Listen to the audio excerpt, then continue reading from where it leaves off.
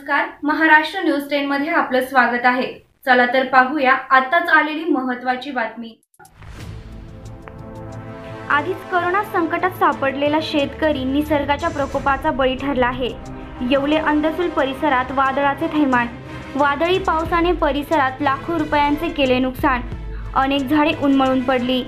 गजानन देशमुख यांचे poultry फार्मचे shade उडाल्याने लाखो रुपयांचे नुकसान. पोल्ट्री शेड पडल्याने कोंबड्यांचे आतोनात हाल. शेड खाली दबल्याने शेकडो कोंबड्या मृत्युमुखी. सुमारे एकवीस ते बावीस लाखाचं नुकसान झालेलं आहे. या पोल्ट्री फार्ममध्ये साडेचार हजार पक्षी टाकलेले होते आणि सगळं जो फॉर्म आहे त्या फॉर्ममध्ये पक्षी आहे त्याचा हा फॉर्म दुर्दैवाने आज उडून गेलेला आहे. आज माझं कमीत कमी जरी म्हटलं एकवीस ते बावीस लाखाचं नुकसान झालेलं आहे. निसर्ग चक्रीवादळामुळे नुकसानग्रस्त भागाची पालकमंत्री छगन भुजबळांनी केली पाहणी.